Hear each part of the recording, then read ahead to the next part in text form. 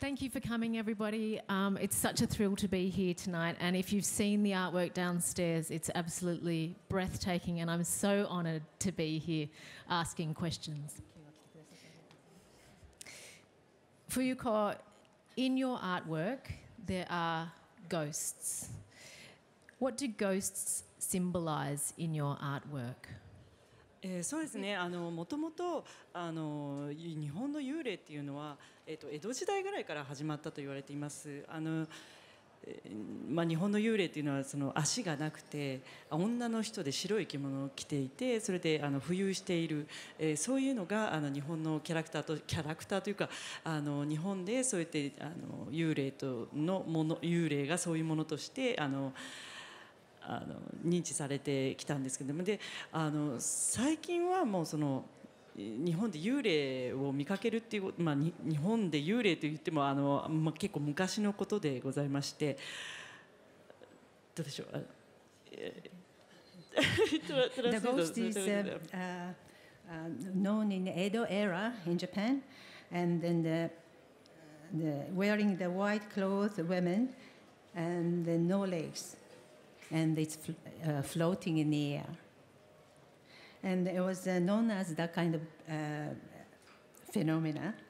And then actually uh, nowadays it's uh, not many um, seen or shown or um, it was sort of a past phenomenon.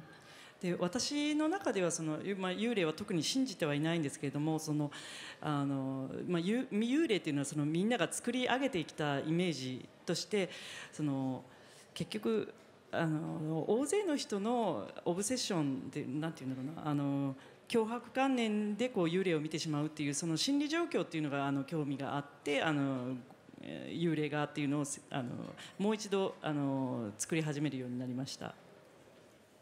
I don't believe in uh, ghosts, actually.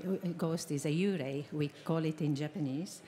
And, and uh, but uh, just the image of it, that the obsession of uh, uh, the people uh, try to, people can see or to try to see that kind of a, psychological state, to see that the ghost in the psychological state is so, so much interest to me. Mm. Can I ask a question of our audience? Who here has seen the exhibition Japan Supernatural downstairs? And are, are others planning to see it later tonight? Yeah. Okay, so I just wanted to give you a little bit of context for the artwork which you will see or which you have seen. There's a lot of uh, folklore in Japanese culture um, dating back hundreds of years.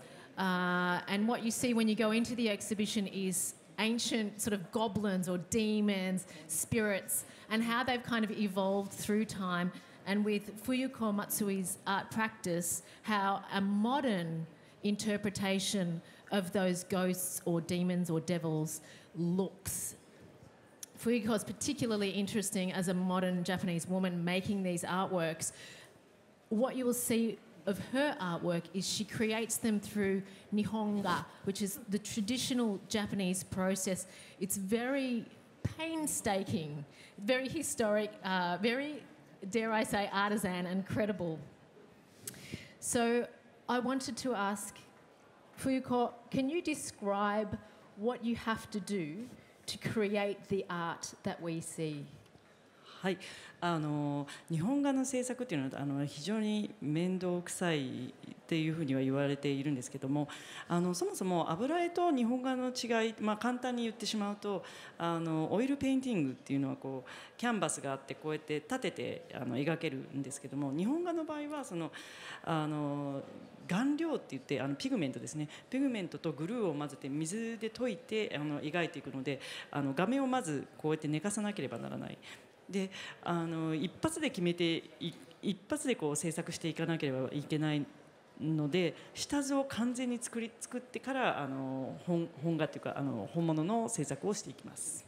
Japanese painting is、uh, known as a sort of painstaking work, but uh, I'm going to tell you the difference between oil painting and the Japanese painting. The oil painting is a uh, you use a canvas standing, but the Japanese painting Nihonga is uh, because we use the pigment, which is uh, mixed with blue uh, paint by in uh, and uh, diluted in uh, water, and that's why we have to put the canvas on the floor, and then the, we have to paint that on that. So the another thing is. Uh, uh, you have to do it just once. You cannot uh, go over it. So that's why you have to prepare very carefully at the beginning uh, to do the uh, drawing uh, draft at the beginning. Have you ever had to throw away artwork because of a mistake? ああもうたくさんあります。いや I had a lot. Many times. Is it heartbreaking when that happens? Uh, no, no, no, not at all. Because I'm, I'm, I'm very strict, so I, Yeah. I, I should make the perfect painting. So it's, it's normal to throw away. I've also read that at the moment you're working on a gurney, a gurney to to um, almost be suspended above the artwork like that. そうです、そうです、その通り Yeah, です。 that's right. That's right. So how? So do you have the sort of paint beside you and, or, and you work like lying down on your tummy? そうです、そうです。 That's その right. 通りです。 That must be Um, exhausting. あー、そうでもないですね。あの寝寝てる感じが No, 結 not 構、ま really. あ、あの大丈夫です。 It's はい okay. Is there a reason why you chose this particular method of painting?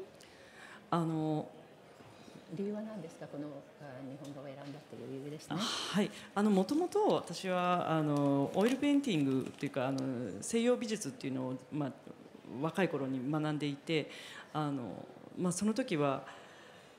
まあ、西洋美術っていうか、まあ、油絵のことしか頭になかったので日本画っていうものがそんなに素晴らしいってあまり気が付いていなかったで22歳ぐらいの時にあの初めて日本画が素晴らしい本当に日本画をこれから作るべきなんだって私私のあの、まあ、日本生まれ日本人だしその日本画の良さはよく知っているわけだだからあの、まあ、西洋画をやるよりも日本画をやっていくべきなんじゃないかと思ってその油絵から日本画にあの変更しました。Originally, I was uh, studying uh, oil painting, and the only uh, um, uh, painting I had in my mind was oil painting at that time when I was young, when I was studying. But then, uh, when I was 22 years old, I realized how great uh, the uh, Japanese painting is. Is.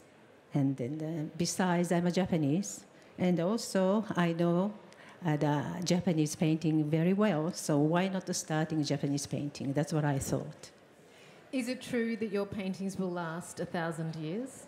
えー、と実際にその鎌倉時代に描かれた日本画の技法で制作しているのであの保存状態が良ければそのぐらいは持つんではないでしょうか。Because I'm using the method of uh, the, the traditional method, method, which was used in the Kamakura era. So that's why if you uh, carefully preserve that, I think it's going to last for thousands of years. Amazing. Written about your work, Fuyuko-san. It's uh, written, her images present the cumulative weight of life's small pains, particularly in the contemporary lives of women in Japan. Can you help us understand what are some of those pains? でですねあの彼女のイメージっていうのはあの小さな積もり積もった小さなあ女性の痛み、えーそういったものがあこの現代女性の日本の現代女性の痛みが特にですねそういったものがですね積もり積もったものを表せて表しているとそういったことが書かれてありましたけどその意味について教えていただけますか？あそうですね。あの日本にあの生生活しているとやっぱりその、まあ、法法律ではやっぱりあのあの男女の差別がないように一応あの決まってはいるんですけれども、まあ、実際の生活の中にあの言いますとですねあのやっぱりこの、まあ、会社でもあの、まあ、政府でも何でもいいんですけどもあの女性が活躍しあの活躍して働いている場っていうのも、まあ、まずやっぱりこう男性に比べて少ないですしあのもう私が小さい頃っていうのは、まあ、大体1980年ぐらいなんですけども、まあ、その時代でもやっぱりこうなんて言うんだろう。例えばクラスの名前名前クラスの、えーと、なんていうの順番を呼ぶにもこう男の子が先女の子が後。でクラスの例えば授業がこう家庭科とあの技術って言ってあの男の子があのマシンを学ぶ機械を学ぶクラスをやっているのに対して女の子は家庭科って言ってこうお料理したり裁縫したりっていうクラスがあったりとか、まあ、私の時代はもう今はそんなことはないんですけれどもそういう時代もあってなぜ男ばかりがそのあの先にあの出席番号で呼ばれたりですとかあの女の人はあの家庭に入って家の中でこもって編み物してなきゃいけないんだっていうなんかそういうやっぱり疑問がずっと蓄積されてあの今に至っております。今でもなあるある程度そのなんて言うんだろうな、まあ、女女性がやっぱり会社でお茶組みした方がいいだろうみたいな空気がまだまだまだあるっていうそういうなんかあの細かいあの小さな世界がやっぱり積もり積もるとやっぱりこういう作品に出てくるっていうのはあると思います。In Japan, by law, the male and the female is equal. And there is no difference. And also, but actually, in reality, at the company and in the, in the government, I think the, compared to a man, the women's uh, uh, place to work uh, is uh, limited. So that when I was young in 1980s, like uh, at the class, in a class, the teacher will call out the names of the boys first and the girls after. So why the male is first? That's what I was thinking. And then another thing is uh, the, uh, at the school, uh, there is a, a, different class for boys and girls. The girls has a home technology, and the boys got a machine kind of uh, related to technology, and they do the different things. And the why do women have to do the knitting at home and then the, uh, that's what I had an, a question all the way through my life. Another thing is like uh, even if in a company, if you work, there is a kind of atmosphere that the woman has to make tea and then um, to serve tea to the others. There is a kind of atmosphere like that. So there are small bits and pieces. If it's accumulated, it's a kind of a sort of a stress. And then the, these kind of things made my uh, uh, art into.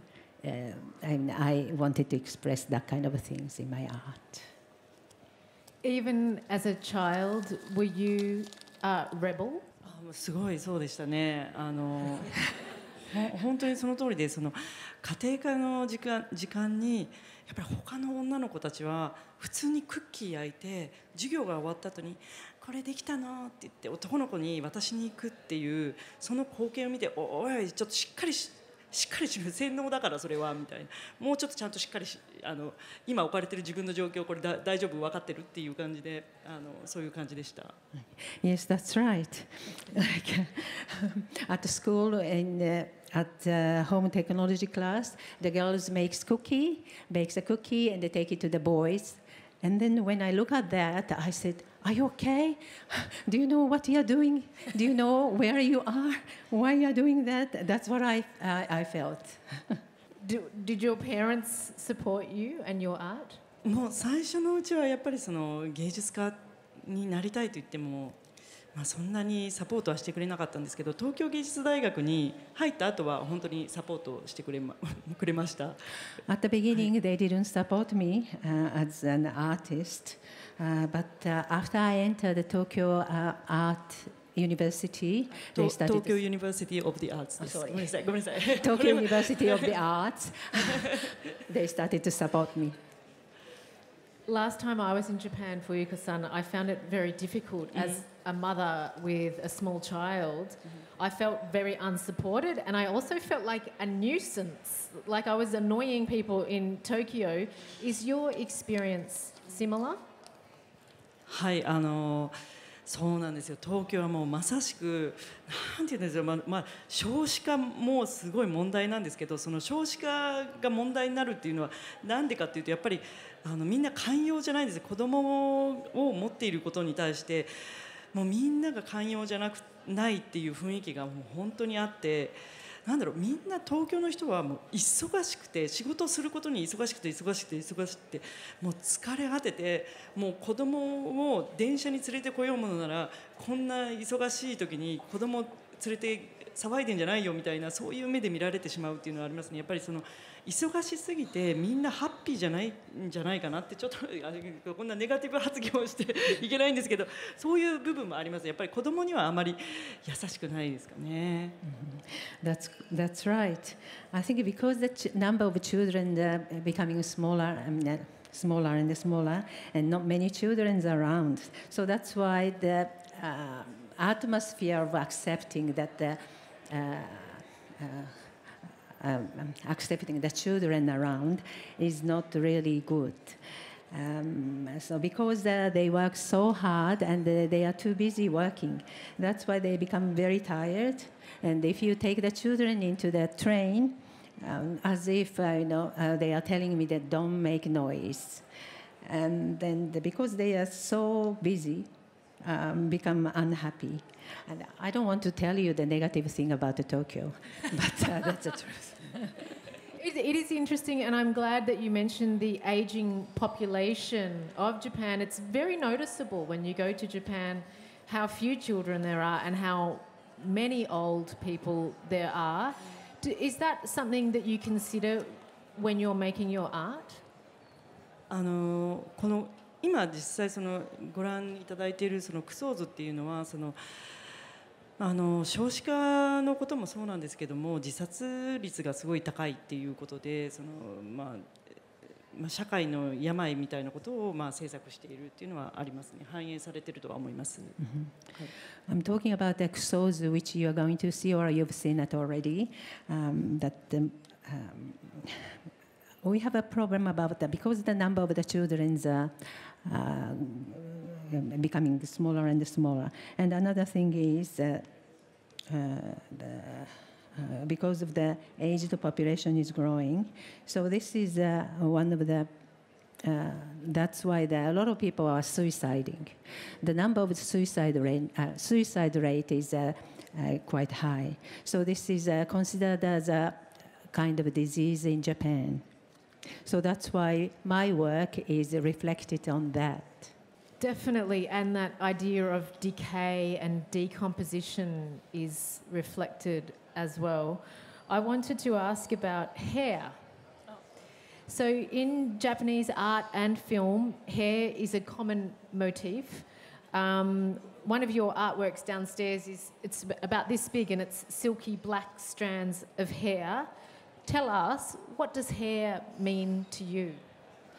あの髪の毛ってあのなんていうの日本人の場合は髪の毛大体黒いんですよ。まあそれであの髪の毛一本そこに部屋に落ちているだけでうわ気持ち悪い生理的になんか気持ち悪いっていう感覚がもともとあるっていうのとあの私の中ではそのその気持ち悪さっていうのはこう毎日毎日伸びてくるその反復行動のようなその反復行動って例えば人があのもういつも手を洗っていなければ気持ちが悪いとかあのもうずっと廊下を行ったり来たりしなければならないようなそのそういう反復行動にも似ている。それからこう毎日毎日伸びてくるっていうのはその例えばすごい辛い思いが感情的にあった時にその思いっていうのはこの伸びた分のところに凝縮されてるんじゃないかっていうその情念みたいなものがやっぱりその髪の毛に凝縮されているっていうそういう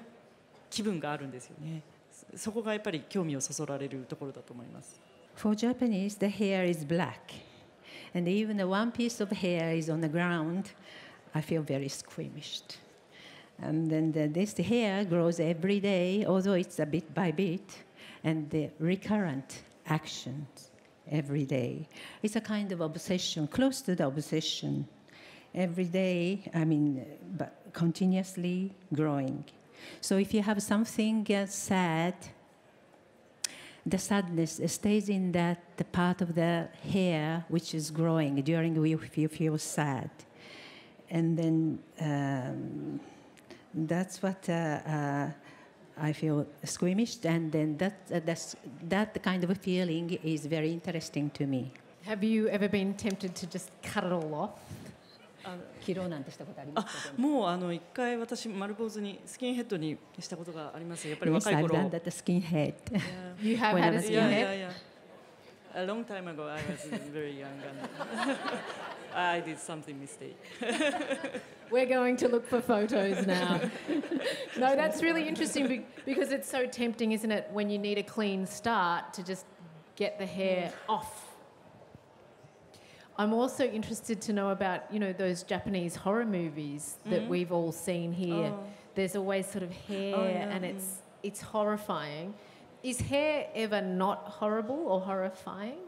ああ、でもその髪の毛の色によるかもしれないですね。 Depend on the color 黒 of いと the 本当に気持ち悪いの黒いと。 If it were black, it's really, really squeamishing, なんかもう本当に動いてるみたいな感じがする as の if で。 it's moving, slithering. I totally get it. Um, I wanted to ask about the film. The, downstairs, there's a short film made by Fuyuko Matsui called Regeneration for a Breached Thought. There's hair in that, there's also a blind dog, and there's a strange viscous white, あいや uh, like melted latex or something. Can you help us to understand the film a little more? あのそのビデオ作品についてなんですけれどもちょっと犬から入ります犬ってその俊敏性っていうのがやっぱり犬のえーなんか特徴だと思うんですけれども俊俊敏性俊敏性あの速速く走れることっていうのがやっぱりあの犬の持ってる持ち味って言えばいいんでしょうか。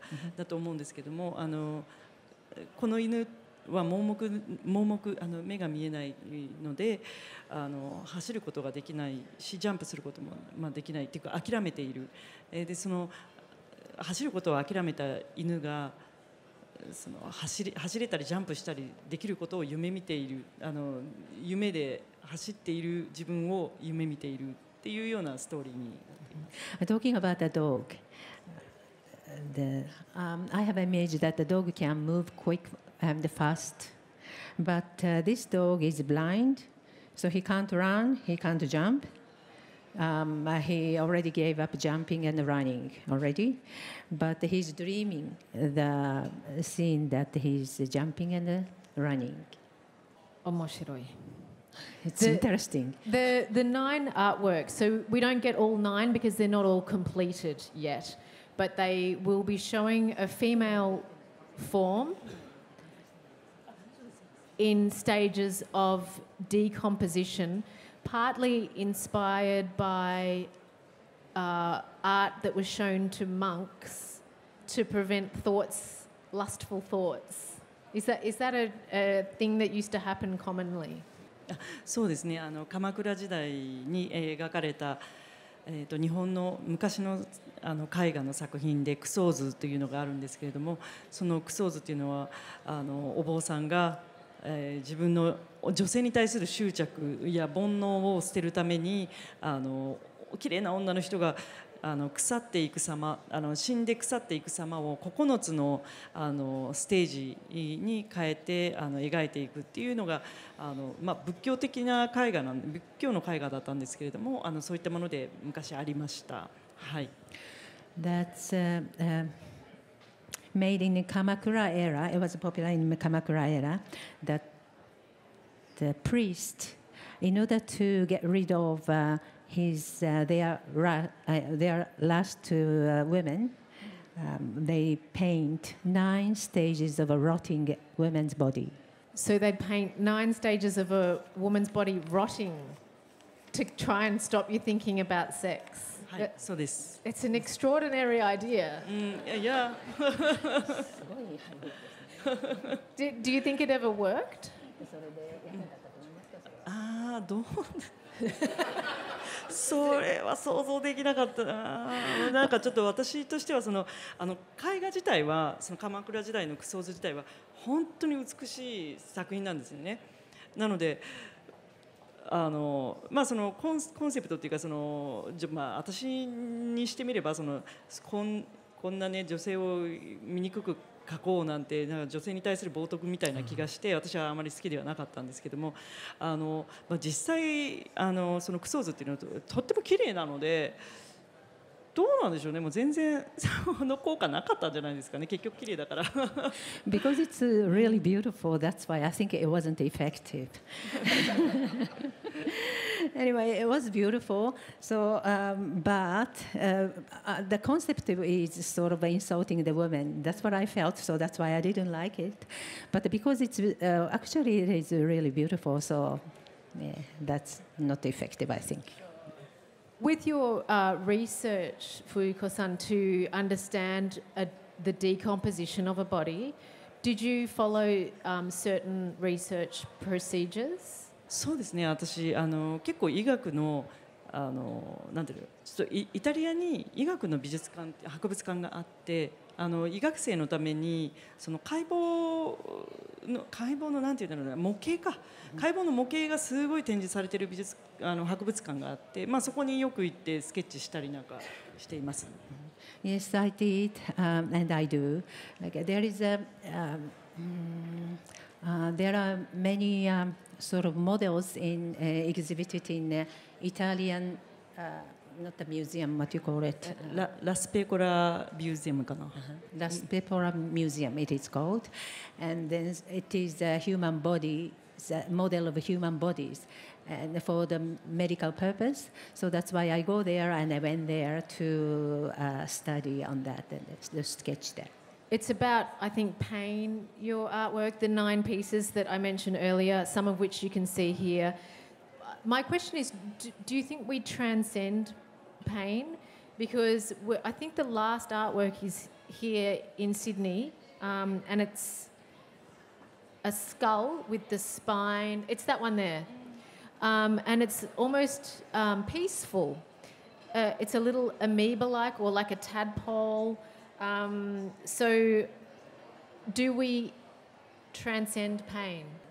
痛みを超越することは、まあ、超越ってどういう意味でおっしゃってるのかちょっとわからないんですけどもあのただ、えー、となんだろう痛みを共有することはできない例えばそのあなた私があなたの手をこうギュッとにこうつねったとして私は実際にはどのぐらいの痛みかなのなのかは私にはわからないでもその例えば絵画を見てあのあすごい痛みが伝わってくるってその絵画を通して痛みを共有できたらなというふうには思っています。Um, I'm not quite sure you are talking about what you're talking about the transcend, um, but uh, uh, whether, but uh, the pain is, uh, for example, like if I pinch myself, like I I can feel the pain, but I cannot share this pain with someone else, and the but I'm wondering if it's possible. Uh, why can't I? Uh, uh, share the pain on the paintings, visual paintings. I wanted to ask you about your actual art practice. So, the day to day of your art, I know that you've dressed, you don't dress like this when you're doing your artwork.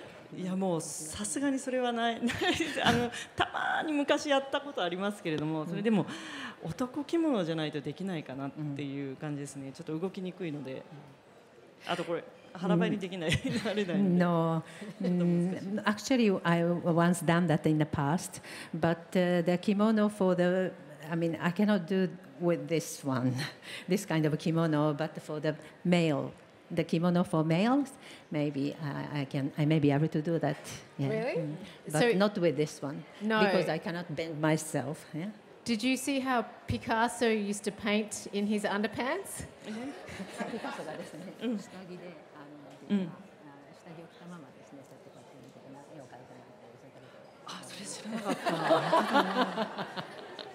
た So, um, I'd like a picture to understand what your art practice looks like.